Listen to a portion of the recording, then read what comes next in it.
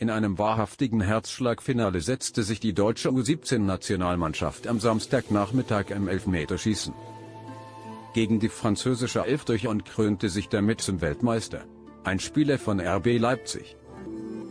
Winners Osave, 17, erlebte während der gesamten Partie eine Achterbahnfahrt der Gefühle.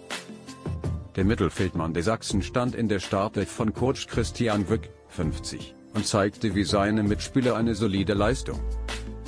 Doch im zweiten Durchgang war der Traum vom WM-Finale für den 17-Jährigen bereits vorzeitig beendet.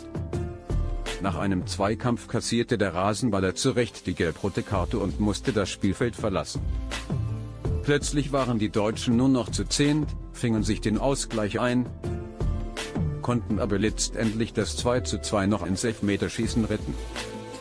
Als Almudera Kabar, 17, den entscheidenden Strafstoß über die Linie drückte, dürften Osave sicherlich mehrere dicke Brocken vom Herzen gefallen sein.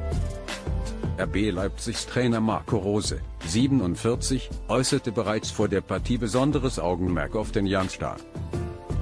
Der höchstwahrscheinlich mit ins Wintertrainingslager nach La Manga fahren darf. Dennoch ist den Sachsen bewusst, dass bei Osave noch Entwicklungspotenzial vorhanden ist.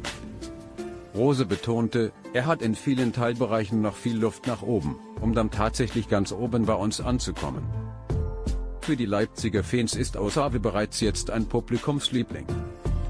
FC Heidenheim, 2 zu 1, und im Stadion wurden Osave und die Nationalelf von knapp 45.000 Fans für ihren großartigen Sieg und den Gewinn der Weltmeisterschaft bejubelt.